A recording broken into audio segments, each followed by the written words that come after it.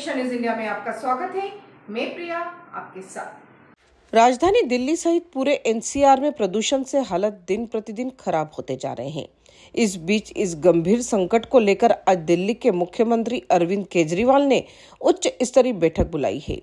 बढ़ते प्रदूषण की समस्या को लेकर बैठक में कई अहम फैसले किए जा सकते हैं।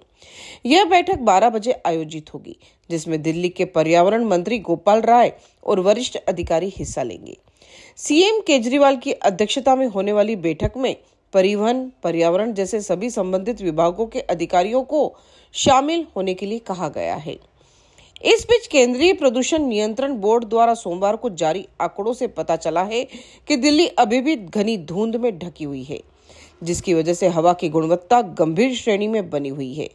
यह लगातार चौथा दिन है जब राष्ट्रीय राजधानी में वायु गुणवत्ता गंभीर दर्ज की गई। सीपीसीबी के आंकड़ों के मुताबिक दिल्ली का समग्र वायु गुणवत्ता सूचकांक सुबह नौ बजे चार दर्ज किया गया। सुबह नौ बजे एक्यूआई बवाना में 448 द्वारका सेक्टर आठ में चार जहांगीरपुरा में चार और मुंडका में चार दिल्ली एनसीआर के वायु प्रदूषण में प्राथमिक योगदानकर्ता पराली जलाना है।